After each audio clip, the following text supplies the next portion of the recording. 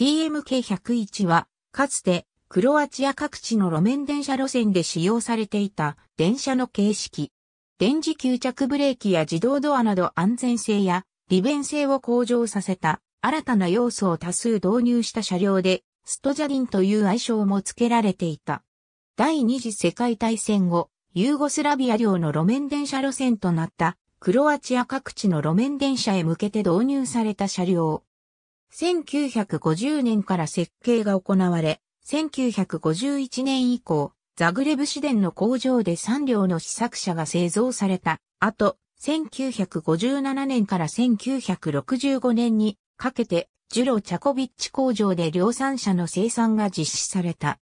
主要な導入先であったザグレブ市電では開業以来、小型の二軸車が使用されていたが、TMK101 は大型の型運転台式ボギー車となり、出力 60kW の主電動機を備えた動力台車が2台設置されていた。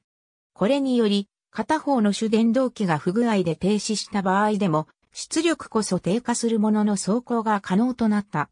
また制動装置も改良され、空気ブレーキ、機械式、ディスクブレーキに加えて非常用に電磁吸着ブレーキが搭載され、安全性が向上した。他にも、運転台から操作可能な自動ドアや障害物に衝突した際に自動的に作動する救助網など多くの要素がクロアチアの路面電車で初めて採用された。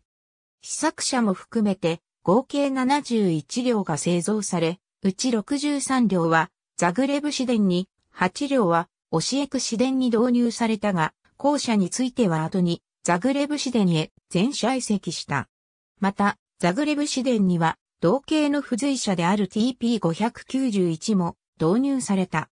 ユーゴスラビア時代の市電の主力車両として活躍を続けたが、老朽化により、クロアチア独立後の1993年から廃車が始まり、2000年代以降は超低小電車、クロトラムの導入で、さらに引退が進んだ。そして2007年夏季に定期運転から離脱し、2008年をもって営業運転を終了した。2017年現在、ザグレブ市電には試作車1両と量産車1両が保存されているほか、付随車の TP591 も2両が残存し、一部車両は動体保存運転が行われている。